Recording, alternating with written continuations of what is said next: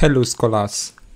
In this video, we are going to give the solution to previous examination questions and also past question papers. To begin, let's take the first question. The first question here says, which of the following has a positive charge? You have question uh, option A, proton, option B, neutron, option C, an ion, option D, electrons, and option E, the atom. Of course, we know the correct answer is proton. The protons, they have a positive charge. So the correct answer to this question is the proton, and that is option A. Now the next question says, Rutherford carried out experiment in which a beam of alpha particle was directed at a thin piece of metal foil. Now the metal it used was gold foil. From this experiment, he concluded that now Rutherford carried out an experiment whereby he fired alpha particle to a thin piece of gold foil. Now from the experiment, he concluded that the atom is an empty space or most of the masses of the atom or most of the volume rather of the atom is an empty space but there is a positively charged dense nucleus that is heavy and that part contains most of the masses of the atom. So let's see the options. You have electrons and massive particle. That was not it. The positive charge part of the atoms are moving about with a velocity approaching the speed of light. Now these were not postulates of the uh, Rutherford's experiment. Said the positively charged part of atom an extremely small and extremely heavy particle. That is true. He said that the positively charged part are small, which is the nucleus, is small, but it is very, very heavy. Uh, is that okay? So the correct answer is option C is the correct answer to this question. Option D is wrong. This is not part of the Rutherford's experiment. This experiment is called the alpha particle scattering experiment, where him and his team, Müller and Marsden, performed the experiment and they were firing alpha particle to a thin piece of gold foil. Some of the alpha particle passed through undeflected, while some were deflected to a larger angle, while a few of them bounced back and Ernest Rutherford said that that was one of the most mysterious things that has ever happened to him. So the correct answer to this question is option C, because from the experiment he concluded that much of the volume of the atom is an empty space, and that the positively charged nucleus is the smallest part and it is the most heaviest part of the atom. So option C is the correct answer. Let's go to the next. The next question says, consider the species. Now, the species you have here, you have zinc with atomic mass of 72, arsenic with atomic mass of 75, and germanium with atomic mass of 74. Now the question is, which of the following about these species are correct? Now you have number of protons, neutrons, and whatsoever here. Now the atomic mass is equal to what? The number of proton plus the number of neutron. Now, if we take the first question, the first one you have there is zinc. Now, from the nuclide formula I taught you, I told you that in the nuclide formula, the atomic mass is usually written superscript to the left of the atomic symbol. So this is the atomic mass. Now, what is the number of proton of zinc? We said the number of proton is equal to the atomic number. From there, we'll be able to state the values that zinc we have like the the number of subatomic particles it will have. Let's say the number of protons the number of neutrons and then the number of electrons. So considering this now what are we going to have? Let us look at the atomic number of zinc in the periodic table. Now zinc is 30 so the atomic number of zinc in the periodic table is 30. So we can say atomic number is 30, which is usually written here. And the atomic number is equal to the proton number of protons. So it means that zinc, we have how many proton? 20 proton. Now, if I should go to a new place and bring all of them out, we have the first one here, zinc, atomic mass 72 atomic number 30 so we say atomic mass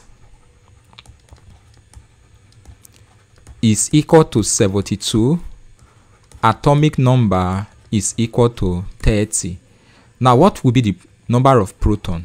Now we said atomic num mass the number of proton rather is also equals to the atomic number because we said atomic number is equal to the number of proton. Now what will be the number of neutron? Atomic mass is proton plus neutron. So if the atomic mass is 72 and number of proton is 30 plus the number of neutron. Now take this 30 to this side. What are you going to have? You have 72 minus 30 and this will be equals to n. 72 minus 30 i think this will give us 42 so the number of neutron for zinc is 42 so we can say that zinc has atomic number of 30 atomic mass of 72 the number of proton of 30 and the number of neutron as what? 42 of course the number of proton is equal to the number of electrons so it will also have number of electrons to be what? 30 electrons. Now that is for zinc. Let us look at the next. The next is arsenic. Let's take arsenic out here. Arsenic 75 now from the periodic table arsenic has atomic arsenic has atomic mass or atomic number rather of 33 so we come back here and say the atomic number is 33 so coming here now and then stating out the parameter atomic mass is what? Atomic mass is 75 atomic number is 33 I will say the atomic number is equal to the number of protons. So number of protons will be 33 and number of electron will also be 33 because atomic number is equal to number of proton which is equal to number of electron. Now what will be the neutron number? We said atomic mass is equal to the mass of proton plus the mass of neutron. So this will be equal to 75 which is atomic mass minus in proton which will be equals to proton is 33 plus neutron take this to this side it gives you 75 minus 33 is equals to neutron. So it means that the neutron here is also 42 so zinc has neutron of 42 this one also has neutron of 42 so we can come here and say our number of neutron is 42 now let's consider the next. The next species you have here is germanium. So taking germanium out here you have Je. The Now, what was the atomic mass of germanium given is 74. So we come here and state that the atomic mass is 74, rather 74. Now, if the atomic mass is 74, if the atomic mass is 74, what is the atomic number for germanium? Let's go to the periodic table now. Now, germanium is close to arsenic. Germanium is this. Let me use, now this germanium here which is 32. Is that okay? So what you are going to do now is the atomic number for germanium is 32. So you come here and write 32. So atomic mass for this is 74. Atomic number is 32. The number of electron too will be 32 and the proton will be what? 32 because the atomic number is equal to the number of proton and the number of proton is also equal to the number of electrons. So in this case the atomic mass now is proton plus neutron. So we can say atomic mass is 74 is equal to proton is 32 plus neutron. So take 32 to this side becomes 74 minus 32 is equal to neutron 74 minus 32, that will give us 42 is equals to neutron. So you see that at the end of the day, all of them, they are having the same number of neutron. So the question is, consider the species. All of the, these species have the same number of electron? No. The same number of proton? No. The same number of neutron? Yes. So the correct answer is what? Option C. They both have, or, or the three of them have the same number of neutron. And that is the solution to that question. Let's look at the next. The next question says, the neutral atom of all the isotope of the same elements have now neutral atoms of all isotope of the same elements they have the same number of proton which is the same atomic number. The number of proton is equal to the atomic number. They have the same number of proton which is the same atomic number. Then another thing again is they have if they have the same number of proton according to the rule the number of proton for any neutral atom is equal to the number of electron. So if they have the same number of proton automatically they will have what? The same number of what? Electron. So number of electron is the same but they have different number of neutron. So number of neutron for all isotopes are different and then the atomic mass is different. That's why we define isotopy as a phenomenon whereby an atom have the same atomic number but different mass number due to different number of neutrons. So let's come here and answer this question now. It said isotopes of the same elements or the neutral atoms of all isotope of the same elements have different numbers of protons. That is false. They are supposed to have the same number of protons. Equal number of neutrons. That is false. They have different number of neutrons. The same number of electrons. That is true. If the number of protons are the same, it means the number of electrons will also be what? The same. So this is correct. The same number of, or the same mass number, that is false. Atomic mass is different, and then the same masses, this is false. So the correct answer to this question is option C. Now, the next. What is the atomic weight of a hypothetical element consisting of two isotopes? One with mass, so the atomic mass of one of the isotope which is isotopic mass is let's take isotopic mass im is 64.23 amu and then the percentage abundance is 26.0 percent. And one with mass now another one again isotopic mass is 65.32 amu but for this you don't know the percentage abundance. Now, one thing that you must know is the sum of all percentage abundance, sum of all percentage abundances, sum of all percentage abundance, let's use A, must be equal to 100%. So if you are given the percentage abundance of one of the isotope, it means you should be able to calculate for the other.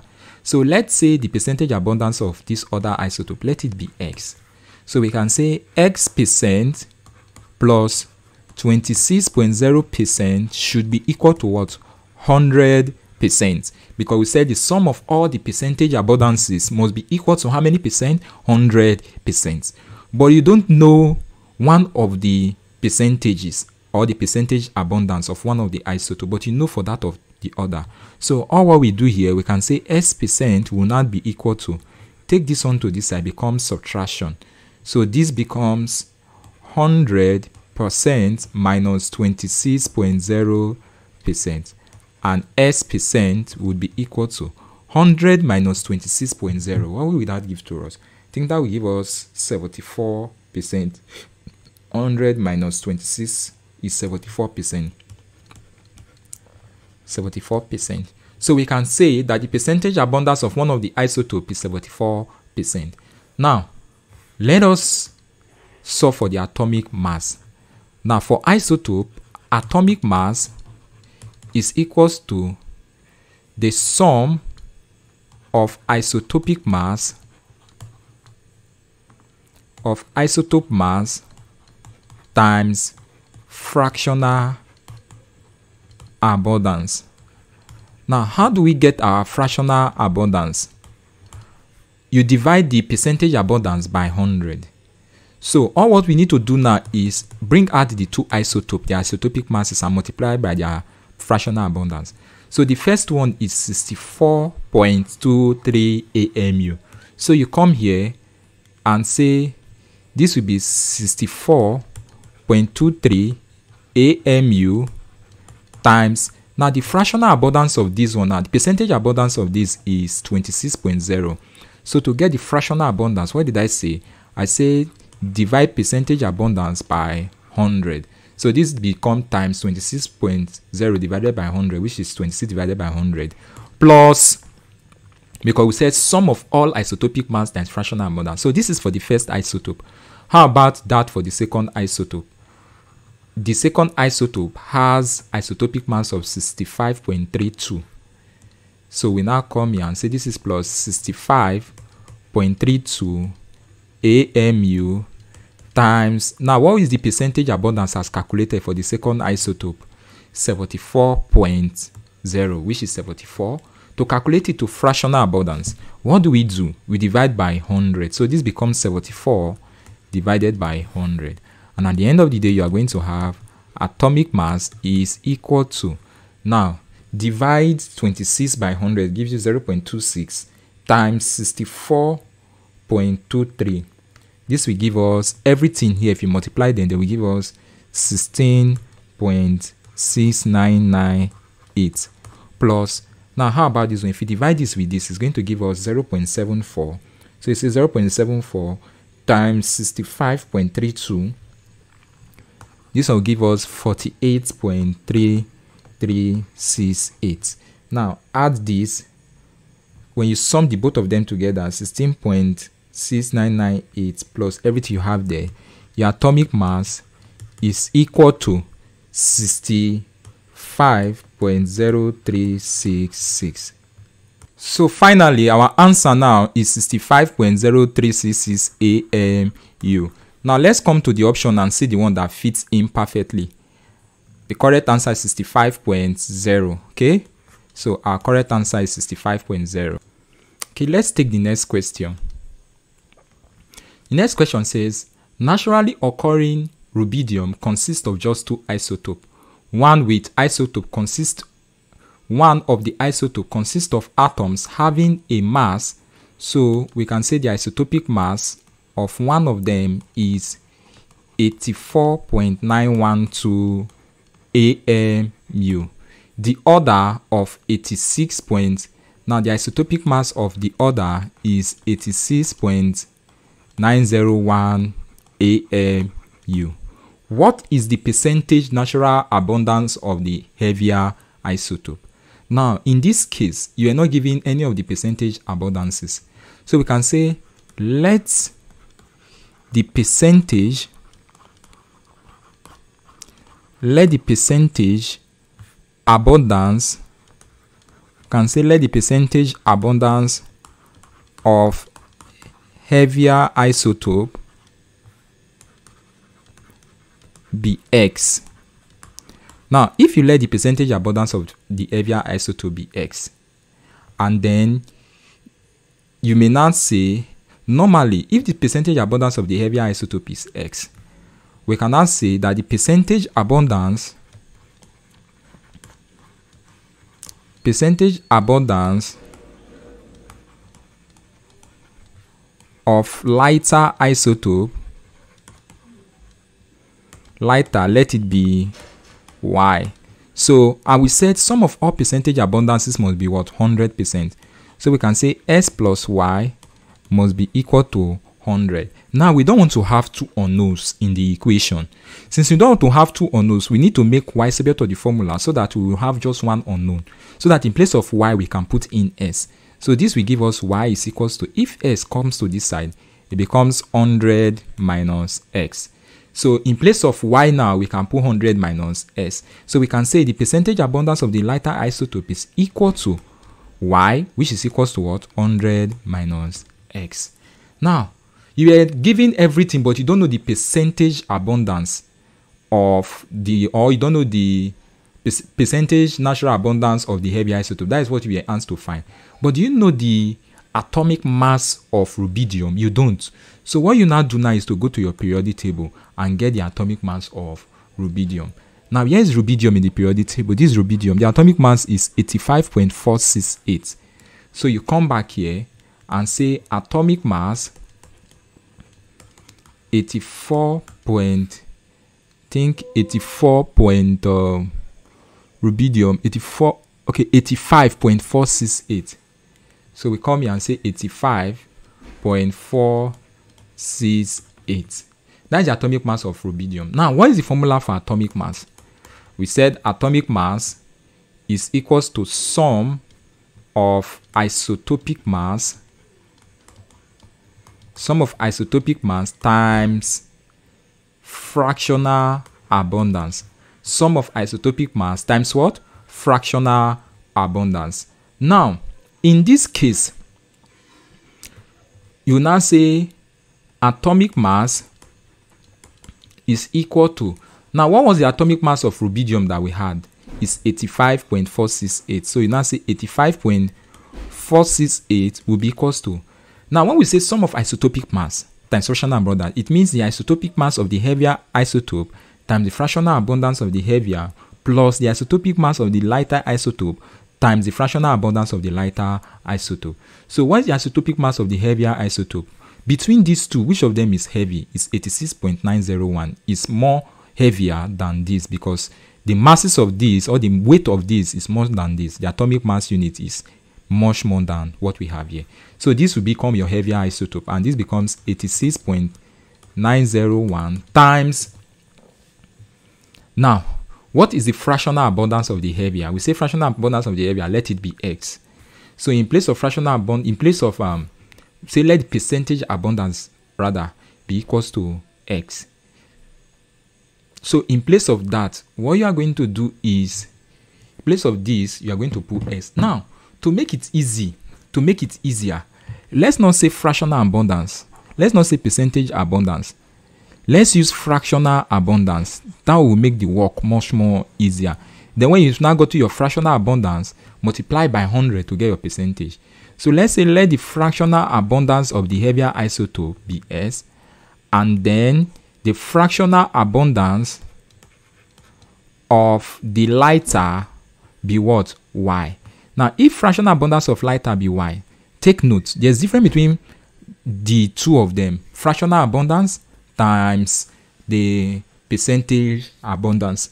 So we can now say that the sum of fractional abundance is always equals to 100, is always equals to 1 rather. The sum of fractional abundance is equals to what? 1. So in this place, you are not going to equate it to 100, but you are going to equate it to 1. The reason why is because we want to make the work easier.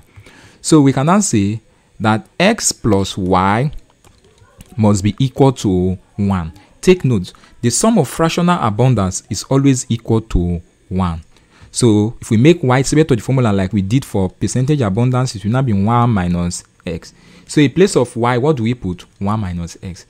Now you are now going to come here that 85.46 times the fractional abundance is what? x for the heavier isotope plus how about the lighter isotope is 84.912 so you say 84.912 times. Now what is the fractional abundance for this one?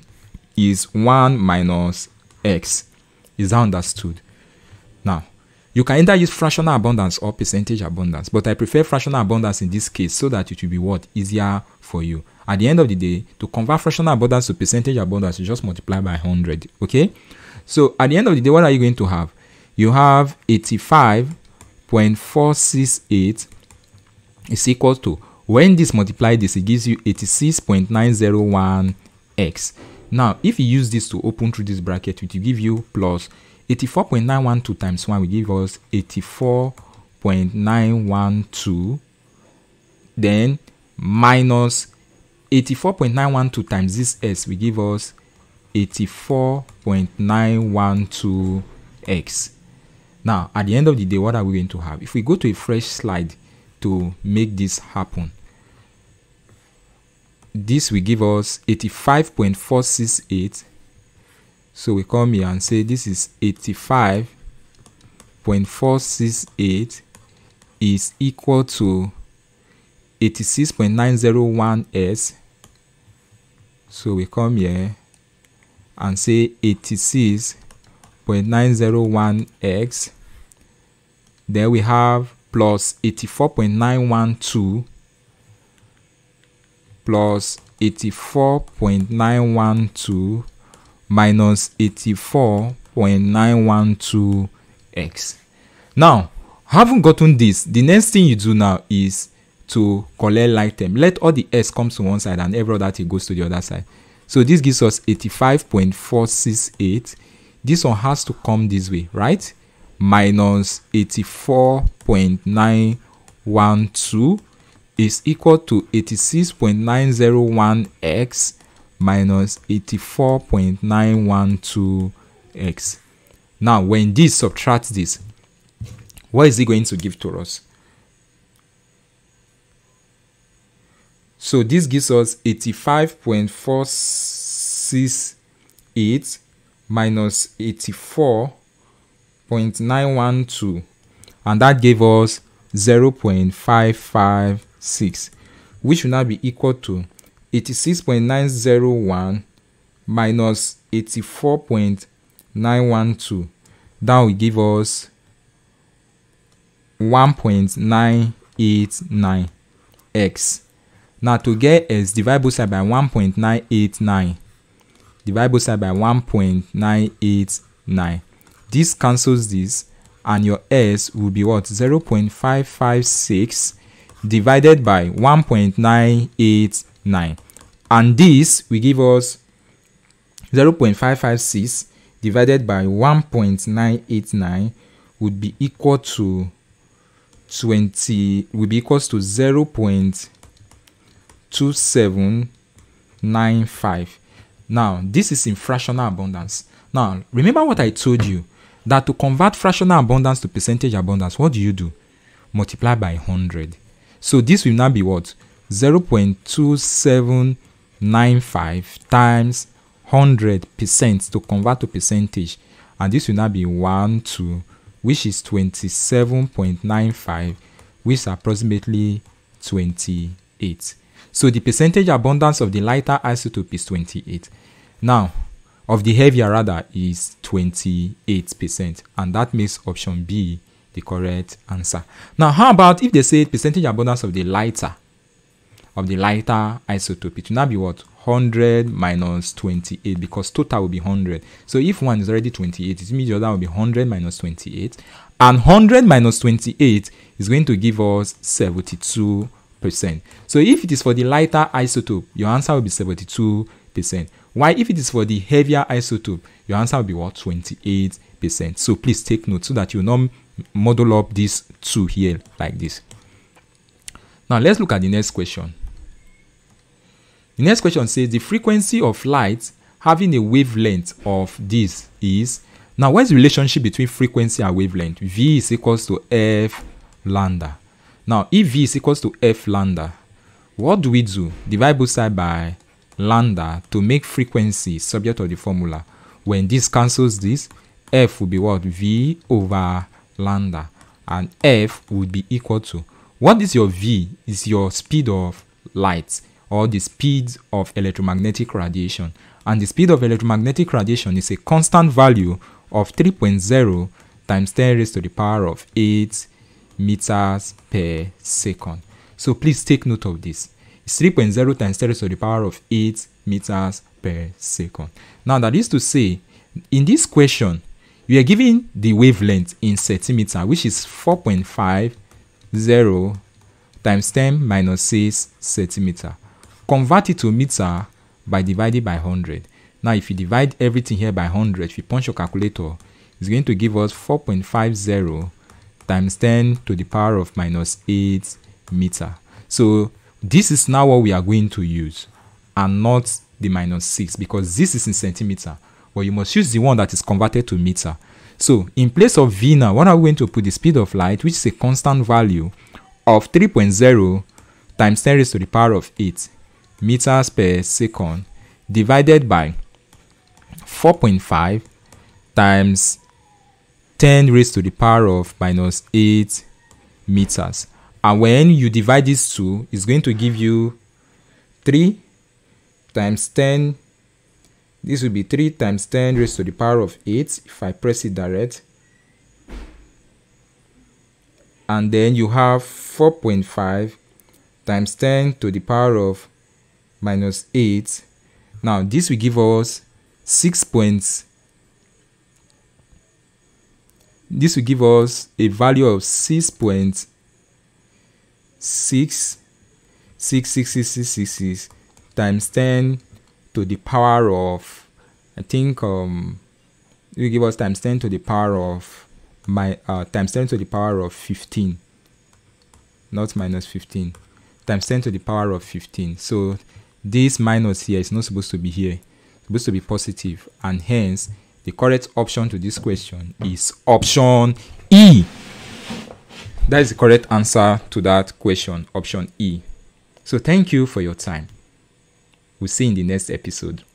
Bye bye and the unit is oh, before we go per second okay? So 6.67 times 10 to the power of 15 per second. So that is the answer to that question